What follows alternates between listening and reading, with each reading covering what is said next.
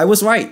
The 50mm 1.4 ZEC lens has now been announced and I did make a call early on that they are making this lens for the 50mm line link in the video right here. So I'm pretty much pleased on how Canon has announced this new trilogy era lens of the Z lenses where they're all basically having the click aperture ring blades that you can now manually change this thing. Video centric wise, it's perfect.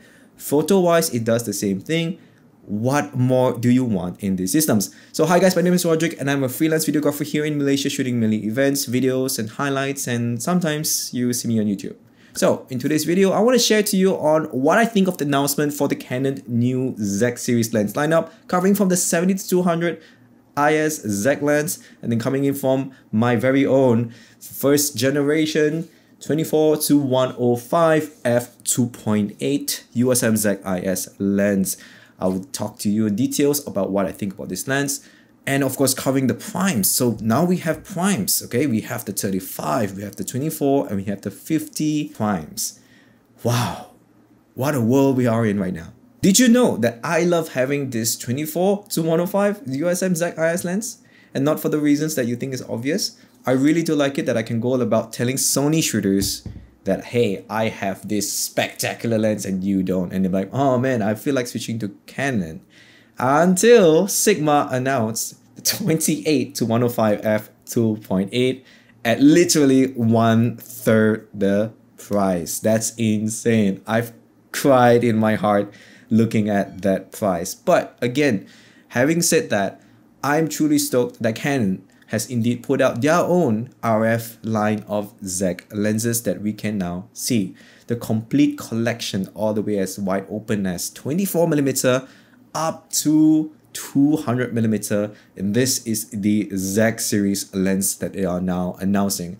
What I think of it, Good job, Canon. This is so exciting news for people like us who occasionally want to shoot cinema or in fact have very high request requirements when it comes to doing both hybrid photo and video for our video or photo business. Now, having all this Canon lens, I will give you my thoughts on why I love this Canon lens and what are my major concerns when it comes to lenses like this. The first concern, let's look at the build quality. What happened to these lenses as opposed to the EF line series lens, you get a really nice tough metal build, but these these are plastic. These aren't really metal. I personally don't feel comfortable renting this out or even loaning it out to someone that is not close to me. This lens is so prone to damaging it. I have not used this lens extensively just yet and I've already scratched the notch here and if I were to use my fingernails and I draw a line, you can literally see there are damages you can visibly see on the coatings of this plastic. I don't like that. I don't like that at all. It doesn't feel premium like those EF lines where they are really rock solid. It just seems like this is just a plastic with coating that eventually, if you try really hard, you can scratch this. Again, I can literally see visible scratch marks just by using my fingernails. Don't like that at all. What I do like in this lens, it's a lot. We're talking about a great, great option lens. We're looking into the D-click aperture.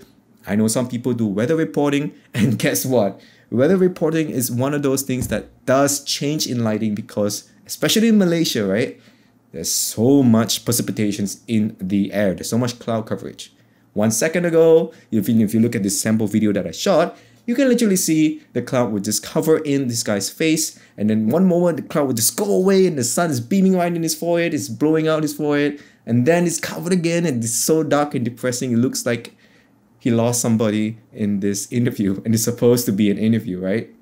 So I would say that having this D-click system would appreciate the art of you manipulating the lighting a little bit fair bit more easier comparing to you actually stopping down digitally where you can actually see that big ISO drop changes when you're doing such things. It's supposed to be a more seamless kind of way that you will change the exposure of your image, right? Now, moving into like what I think of it for photo and video. These lenses are amazing. They are sharp. They are so sharp. Like if they follow the route of 24 to 105, where it's sharp at 24 all the way up to 105 with no drop off in terms of sharpness, wide open at any of these ranges. Phenomenal. You have solved the age-long problem of what I would think like every lens has a fault in them. Be it being too close, it's soft, be it too far, it's soft. You know, a lot of these older lenses, especially at tail end of the focal range, they tend to become soft. Not for the 24-105. I am hoping that the 7200 would behave the same way. And I'm really hoping that it will perform or even outperform the RF 70 to 200 the 2.8, the regular one. You know, having that ZAC is an upgrade to that lens. I really do hope that's true. And in terms of the primes, I have no example of primes that I have in my possession. I only have the 24-105. I would strongly suggest you checking out other YouTuber reviews about it before making the purchase, but looking into the future, that's great. 24 1.4, 50 1.4, and 35 1.4 gosh damn it. And they even managed to keep the size of these lenses almost approximately the same.